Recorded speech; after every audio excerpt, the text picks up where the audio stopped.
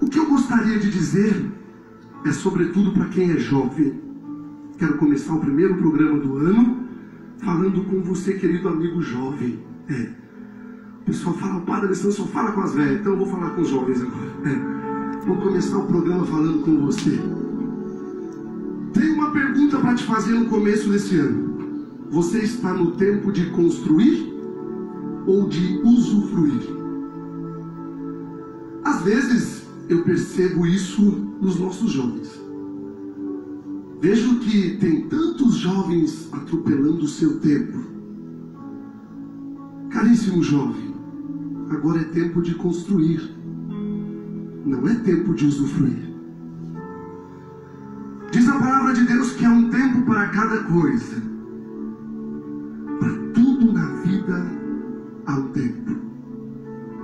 Cada coisa um momento, diz a palavra. Há tempo para nascer, tempo para morrer, tempo para plantar e tempo para colher. Há tempo para cada coisa. Tem tempo para namorar, tem tempo para casar. Para tudo na vida há um tempo e é preciso, sobretudo, observar o tempo de Deus. Você não está no tempo de usufruir.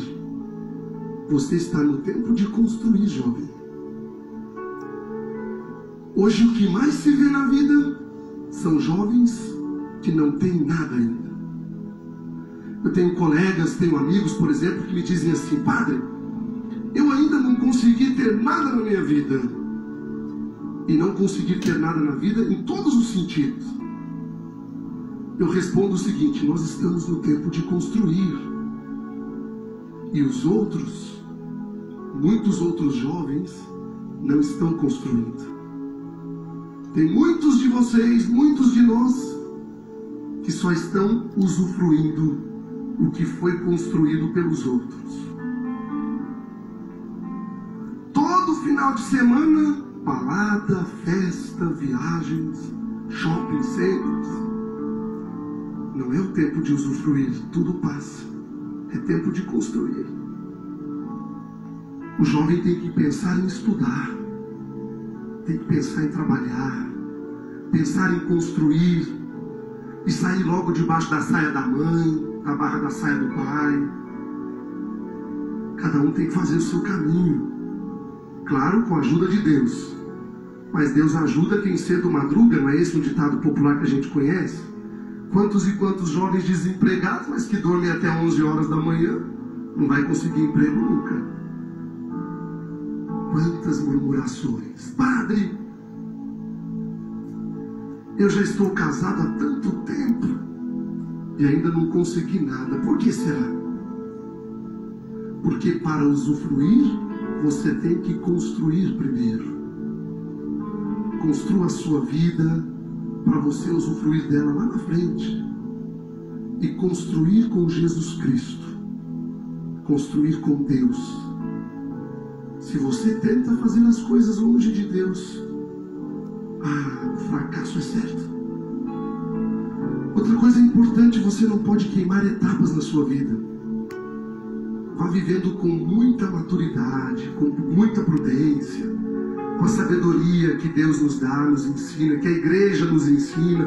Por isso é importante vocês ter uma vida de cristão praticante na sua igreja, seja você católico ou evangélico. A igreja é mãe mestra, né? ela ensina, ela educa, ela mostra o caminho, o caminho que é Jesus, que diz: Eu sou o caminho, a verdade e a vida. Por exemplo, hoje, sabe o que, que acontece, sobretudo nos relacionamentos?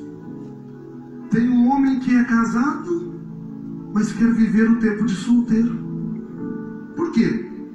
Porque atropelou o seu tempo e não viveu o tempo certo de solteiro e depois casou e agora quer curtir a vida de solteiro sendo casado, esquecendo-se das suas responsabilidades, do seu compromisso.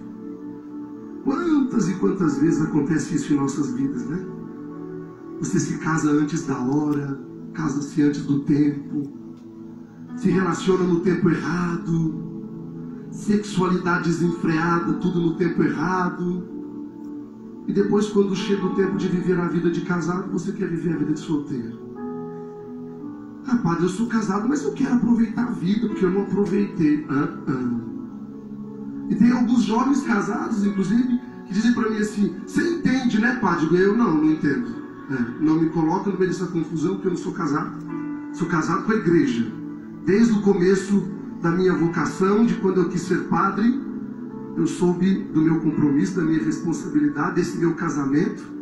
E agora, como padre, ainda que eu faça agora 14 anos de padre, daqui a alguns dias, eu não posso me esquecer da minha responsabilidade, do meu compromisso. Não é? 13 anos. Eu que sou padre, eu estou falando que é 14 porque é 14. Vocês não sabem da minha vida. Você precisa saber qual que é o tempo que você tem para construir e qual que é o tempo que você tem para usufruir. Você precisa entender o seu tempo, jovem. Por isso, a minha dica de hoje é que você aproveite o tempo que o seu pai está te ajudando, por exemplo. O seu pai e sua mãe estão tá apostando em você, te preparando para o futuro. Então sai da internet, sai do Facebook, vá à luta, para tentar ser alguém na vida Sai um pouquinho do WhatsApp. São poucas as pessoas que têm essa oportunidade. Você tem. Você que tem aí a faculdade que o pai paga, o tio paga, o irmão paga, a mãe dá um ralo, dá um duro, o pai, porque quer ver o seu futuro melhor e você não sai da internet. Vive no WhatsApp mandando videozinho para um, para outro. Vive nas redes sociais. Não. Que triste. Aí vai para a faculdade, toma nota fraca, é nota baixa, porque não estudou, não está aproveitando o tempo de construir, não está usufruindo o tempo da construção que o pai e a mãe estão tá te dando, o irmão, ou o tio, alguém, algum amigo. Em que você está gastando o seu tempo, jovem? Está perdendo o seu tempo em quê? Você está se enganando. Você, na verdade, não está sabendo, sabendo usufruir na hora certa. E o pior, não está sabendo também construir na hora certa. Eu digo sempre que quem planta, colhe. Se você plantar banana, vai colher banana.